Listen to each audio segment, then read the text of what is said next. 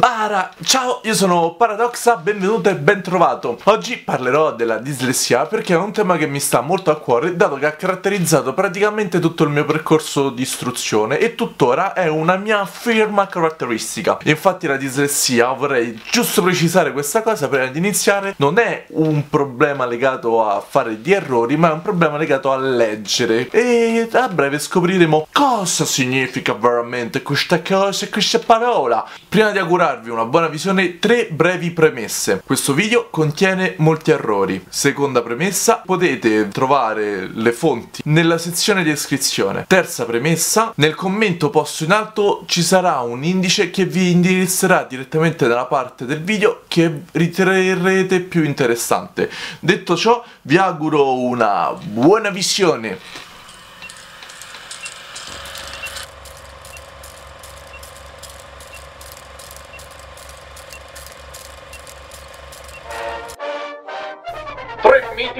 Dislessia. La dislessia è un problema legato soprattutto al linguaggio orale. Quinto favorito dal fenomeno che induce ad avere spesso e volentieri più difficoltà nel recuperare le parole al momento giusto, noto come sulla punta della lingua. La dislessia è caratterizzata da errori particolari come l'inversione di lettere nella scrittura o nel parlato.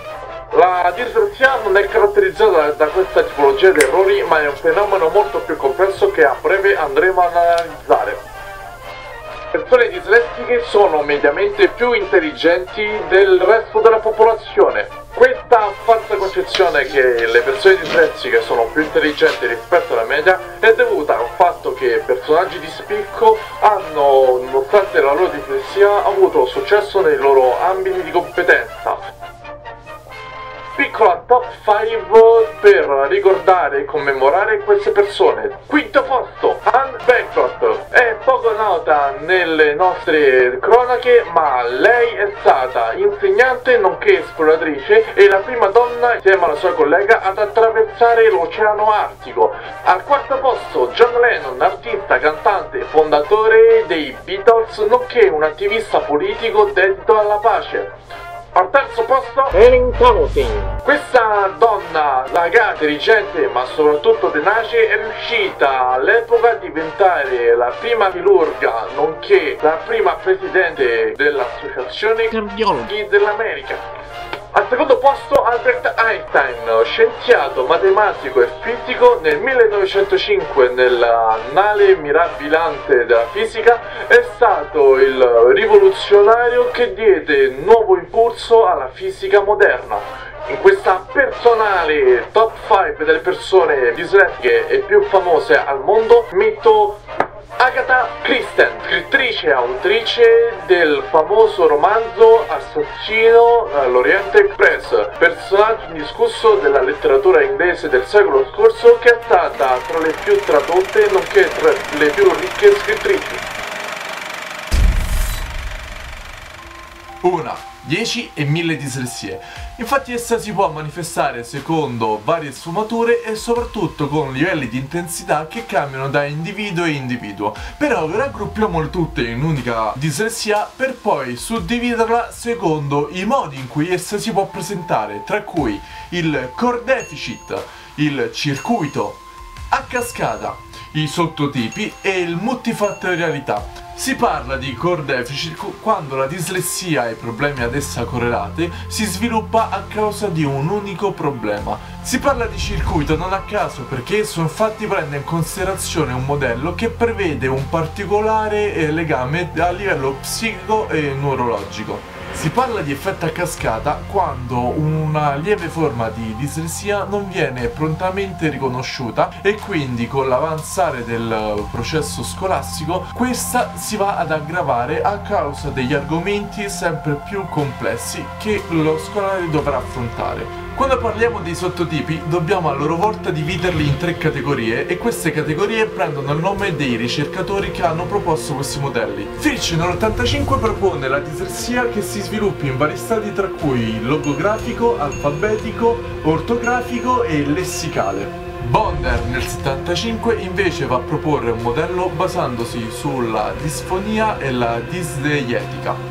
Becker poi propone una suddivisione della dislessia in varie basi, tra cui la B, la L e la M. La P sta per percettiva e caratterizza la dislessia da una lettura lenta e con errori dispersivi, mentre L sta per linguistica e propone una dislessia caratterizzata da errori di lettura causati da una velocità molto elevata e soprattutto di errori di pronuncia, mentre quella base mista è un po' una fusione delle due prime basi. Questi modelli più complesso è la multifattorialità Infatti esso prevede l'interfacciarsi e l'intrecciarsi della dislessia con altre DSA a causa di fenomeni epigenetici, genetici e soprattutto ambientali.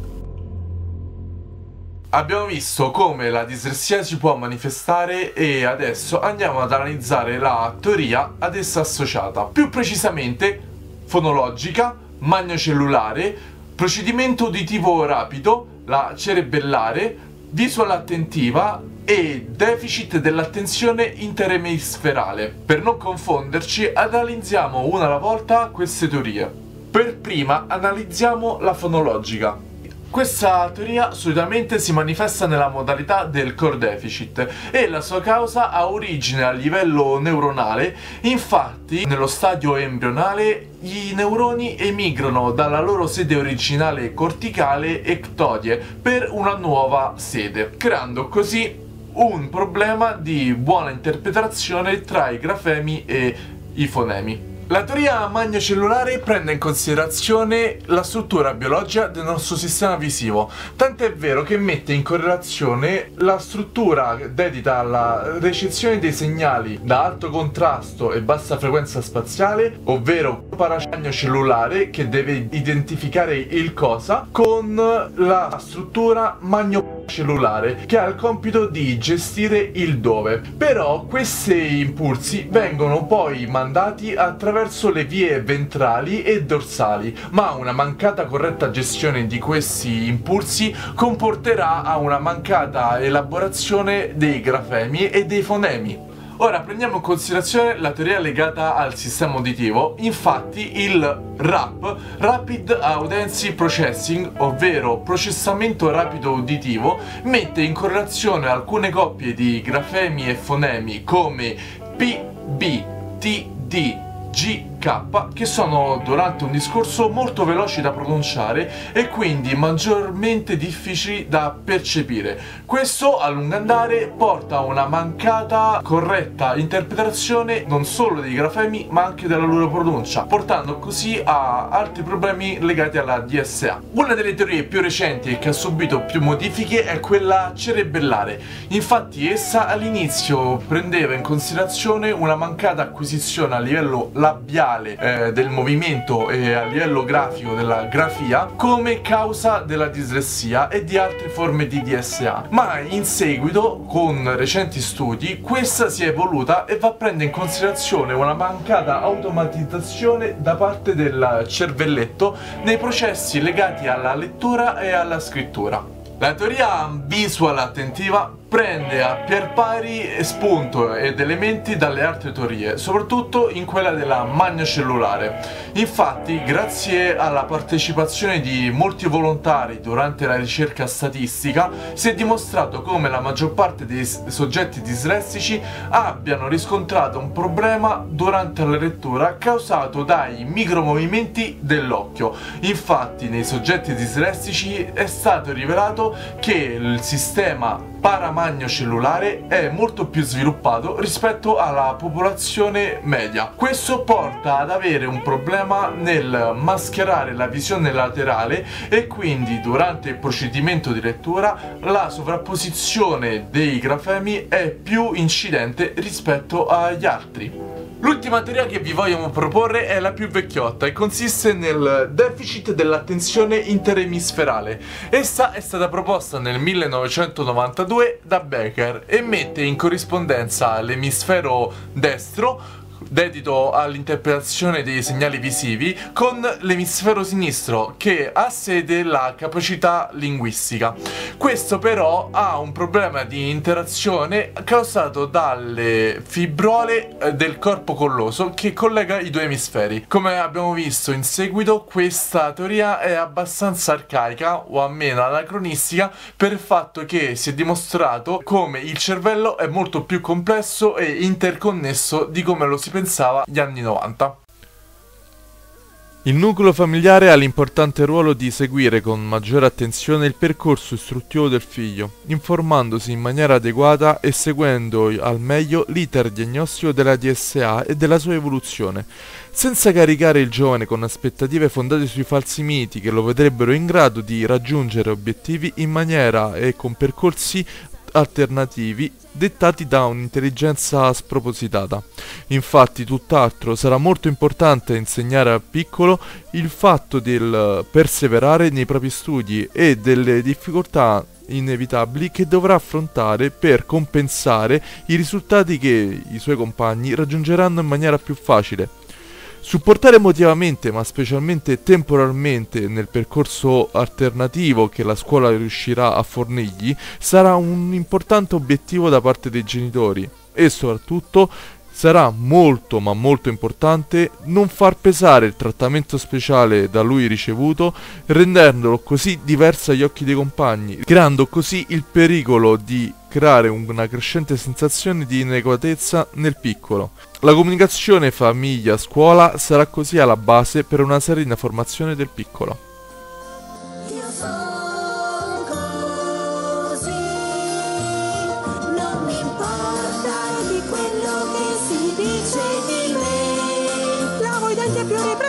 Riprese, mangio zuppa thailandese in tasca ho la maionese. Gioco con la chiave inglese, sparo puzze molte stesse senza essere scortese. Canto nuda in francese, divento un salame al mese per far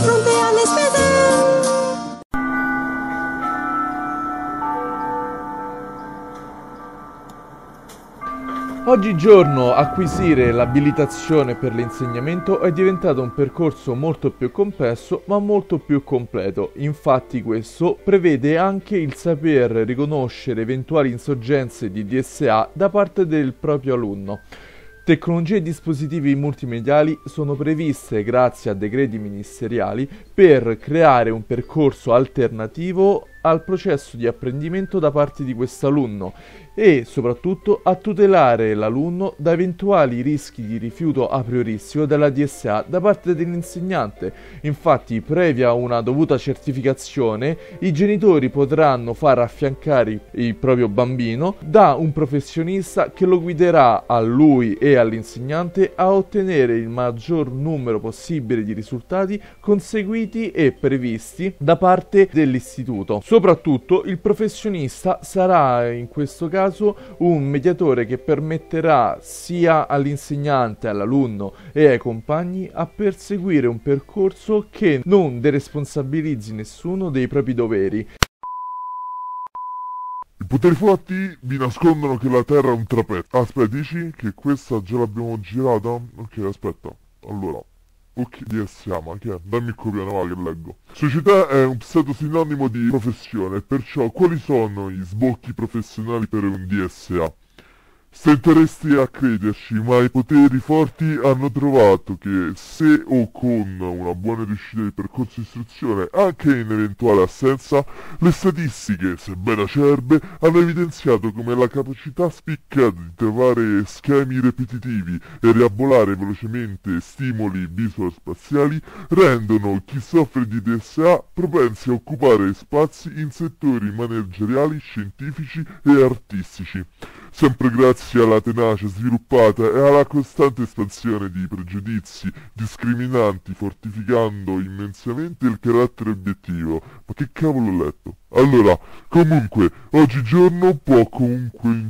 Eh? Oggigiorno può comunicare la propria DSA non è più un fattore totalmente discriminante.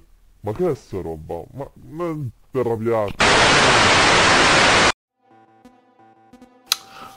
Consapevolezza clinica. Secondo i manuali diagnostici ICD, secondo volume, la dislessia o disturbo specifico di lettura si definisce come una difficoltà nell'acquisizione della capacità di leggere in modo corretto e fluido, nonostante una dotazione intellettiva nella norma e l'assenza di condizioni neurologico-psicopatologiche in grado da sole di giustificare la difficoltà nella lettura. Ma andiamo ad analizzare da vicino che cos'è il processo di lettura. Infatti vi voglio proporre un veloce schema che va ad analizzare cosa noi facciamo quando leggiamo. Prima di tutto ci troviamo davanti a una parola scritta che in maniera molto veloce e repentina sarà analizzata in maniera ortografica. Una volta fatto questo ci troveremo in un bivio che è quello del lessico ortografico, ovvero leggere e ricevere il segnale visivo e contemporaneamente faremo un doppio processo che è quello del lessico fonologico di output,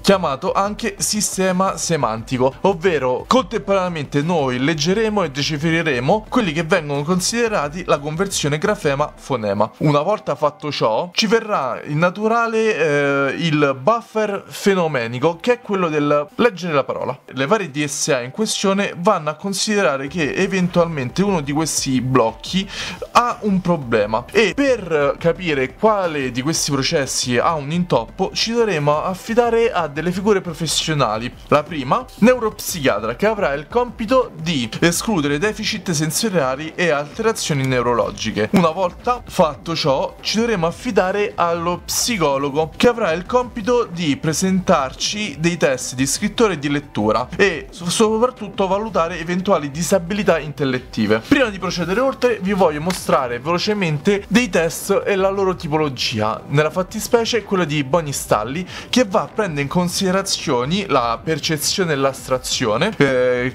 chiedendo magari di disegnare una cosa grande una cosa piccola, prove di orientamento spaziale in cui ci sarà richiesta di ricopiare le figure, oltre a prove all'attenzione e alla faticabilità e quindi ci saranno chieste di ricopiare ad occhi chiusi eh, queste figure viste da poco e altri tipi di test che poi andremo in futuro ad analizzare. Una volta eseguiti i test ci dovremo rapportare con il logopedista che avrà l'importante funzione di valutarci e eh, aiutarci nel nostro training negli aspetti lessico-fonologici, morfosintattici e semantici. In poche parole, avrà l'importante ruolo di rimettere al loro posto i vari blocchi e aiutarci nel nostro percorso scolastico.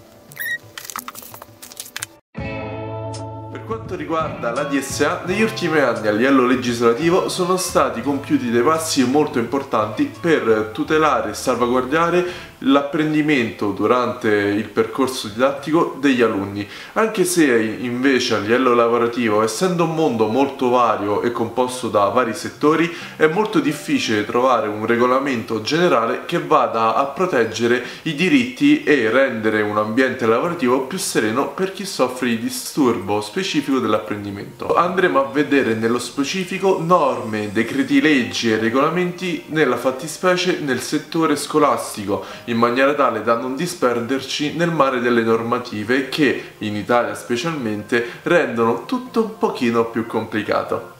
Per amor di correttezza, vi devo aggiornare che le leggi di cui andrò a parlare sono aggiornate fino al 2016. In questi anni, se ci sono stati cambiamenti e normative, non mi è dato sapere. Ma senza ulteriore indugio, andiamo a vedere queste leggi. La normativa numero 170 dell'8 ottobre 2010 quello, due obiettivi principali di tale normativa sono quelli di compensare tramite l'utilizzo e, e la dotazione di strumenti tecnologici in maniera tale da poter aiutare la decodifica e codifica de, durante il processo dell'apprendimento dell'allievo e soprattutto comprehensive, ovvero permettere allo studente di essere tutelato in maniera tale che durante il suo percorso di istruzione vengano considerati i suoi problemi e quindi non sovrapportare sovraccaricati di eh, compiti e esercizi che potrebbero stressare e soprattutto aggravare la DSA. In particolare, tale normativa prevede di formulare il contratto PDP, ovvero il piano didattico personalizzato, altro non è che un contratto stilato tra genitori, alunno e scuola in maniera tale che sia trovato un percorso alternativo durante la sua istruzione che ha come obiettivo quello di raggiungere gli stessi traguardi e successi dei compagni, ma in maniera alternativa. Non tutti i genitori sanno che l'articolo 6 di questa normativa prevede prevede la possibilità di accedere a delle agevolazioni per quanto riguarda i lavori e soprattutto gli orari del lavoro. In questa maniera il genitore potrà fornire un maggior controllo e aiuto al proprio bambino, ma questo solo per quanto riguarda la scolarizzazione di primo grado. Tale normativa ha avuto poi un'ulteriore specifica per eventuali furbetti che è quella numero 5669 che andrà a prevedere un esame finale annuale in cui chi ha stipulato il contratto PDP dovrà eh, dimostrare il raggiungimento dei traguardi e quindi di stare al pari passo degli allievi e dei compagni di classe. Poco usufruite, la legge 5 febbraio del 1992 permette nei casi di livello di DSA più elevati di poter usufruire di una figura di sostegno che permetta al bambino di non rimanere dietro dato che è supportato per eh, rimanere a pari passo durante la lezione spiegata e nella comprensione dei testi. Grazie per aver seguito fino a qui, spero che il video vi sia piaciuto, che l'avete trovato interessante, condividetelo, lasciate un like, un dislike, ma soprattutto commentate e fatemi sapere la vostra, ma ci terrei soprattutto, ma tanto tanto tanto, che lo condividiate con chi, secondo voi, per timidezza o paura o pressione sociale, in teoria ancora fa fatica ad accettare la sua, anche se lieve, DSA. E vorrei poi condividere con voi la linea guida generale da ricordarsi sempre per chi è affetto da DSA e non. Infatti, la competenza e la conoscenza non è altro che l'abilità appresa di esprimere in modo personale il proprio essere e proporlo agli altri, interagire positivamente con l'ambiente naturale e sociale, risolvere i problemi che incontra, riflettere su se stesso e gestire il proprio percorso di crescita anche chiedendo aiuto quando occorre comprendere il loro valore e la complessità dei sistemi simbolici e culturali, mutare il senso del, maturare il senso del bello e conferire senso alla vita. Con queste parole vi saluto, ciao!